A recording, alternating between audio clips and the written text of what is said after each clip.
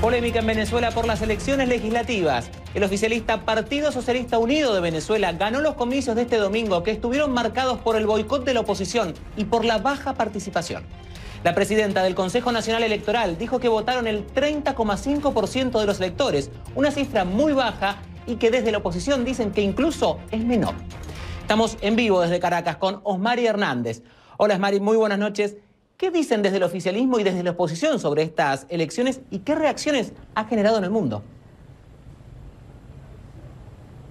Iván, muy buenas noches, un gusto saludarte. Sin duda la controversia ha rodeado estas elecciones parlamentarias que se realizaron el 6 eh, de diciembre. Y pues hay que destacar que el Parlamento venezolano es el único poder constituido por una mayoría opositora y que de acuerdo con el resultado electoral de este domingo pasaría a manos del chavismo, con lo cual pues se eh, consolidarían con el control de todos los poderes públicos en Venezuela. El resultado fue actualizado en la tarde de este lunes por el Consejo Nacional Electoral con un 98.63% de la transmisión de los datos ubican a eh, la participación en 30.5%. Iván, esa es, era una de las grandes interrogantes de la jornada, la cual se compara con 71% de participación en las elecciones parlamentarias de 2015.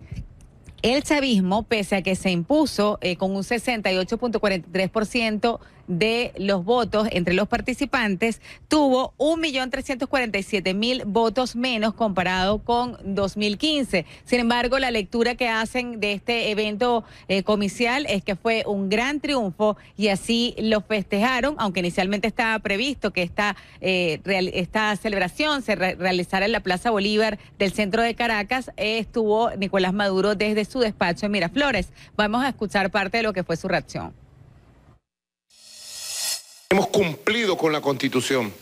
Hemos cumplido con esta Constitución. Cinco años después, tengo que salir a decir, tenemos una nueva Asamblea Nacional, producto del voto popular.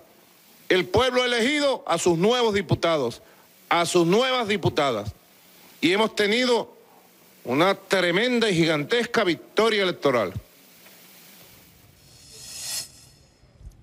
Para Juan Guaidó, presidente de la Asamblea Nacional y reconocido como presidente encargado por al menos 55 países. Esto fue una competencia que describió como de yo con yo, es decir, Nicolás Maduro versus una oposición a su medida. Aseguró que también en este sentido hay silencios que hablan y esa ausencia de electores en los centros de votación constituye un mensaje. ¿Es la abstención un triunfo? Se lo preguntamos a Juan Guaidó y esto fue lo que contestó.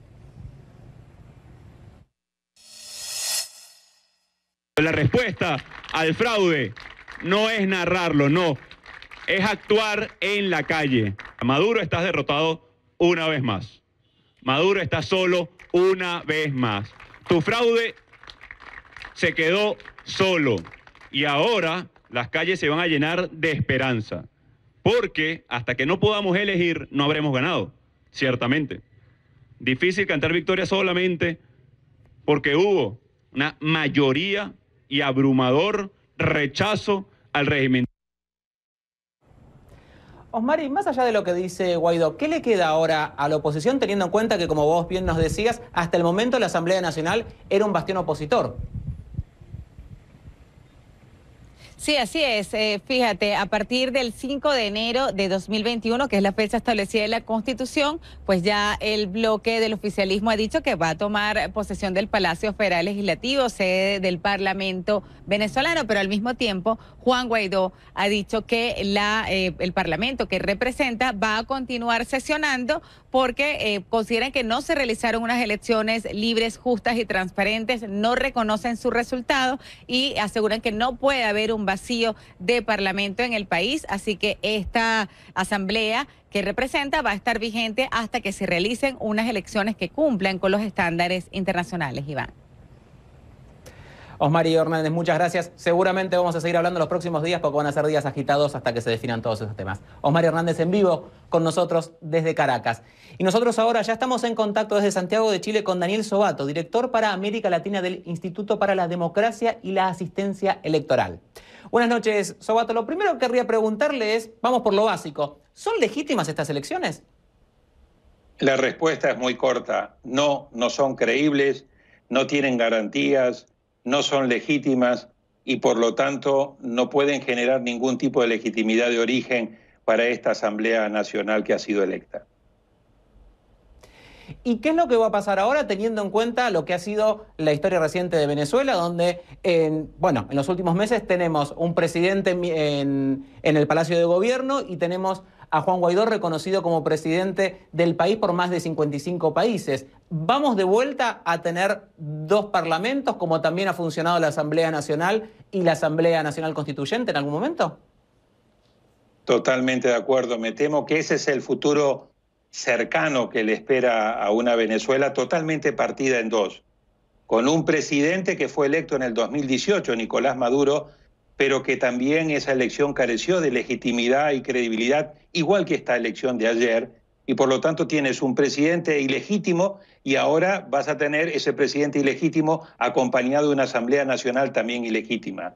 Y del lado de la oposición, liderada por Guaidó, tienes un presidente que está eh, basado su, su autoridad en que era el presidente de la Asamblea Nacional electa en el 2015 y por lo tanto presidente a cargo.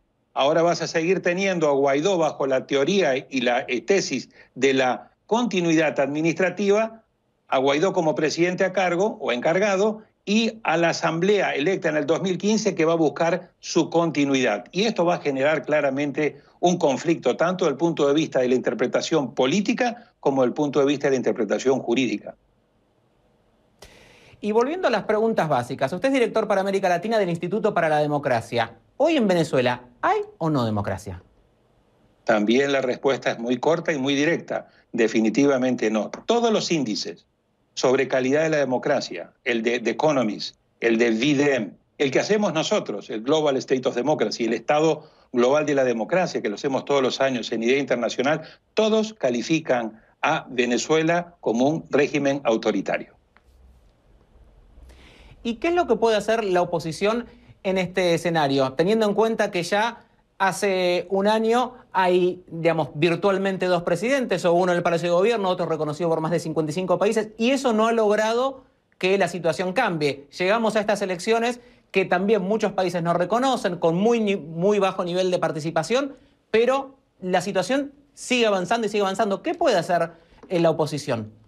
¿En qué lugar queda? Iván, mira, Primero, tener esto muy claro. Tienes un presidente que fue electo de manera ilegítima y tienes una Asamblea Nacional que, a partir del 5 de enero va a asumir y va a ser también una Asamblea ilegítima. Así que ese es un régimen autoritario e ilegítimo, que cada vez va a profundizar más sus rasgos autoritarios.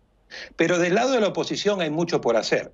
Primero, la oposición no puede sacar números alegres de que este 70% de abstención que ha habido ayer domingo es en apoyo a la eh, oposición que lidera Guaidó. Segundo, la oposición tiene que unirse, tiene que fortalecerse, porque la parte de la oposición soñaba con que estos temas lo iba a resolver una invasión norteamericana y otra parte soñaba que las presiones de Estados Unidos a los militares le iban a resolver el problema. El problema de Venezuela se tiene que resolver en una mesa de diálogo y se tiene que resolver dentro de Venezuela y la oposición que lidera Guaidó tiene que unirse y tiene que hacer trabajo interno, mucho trabajo interno.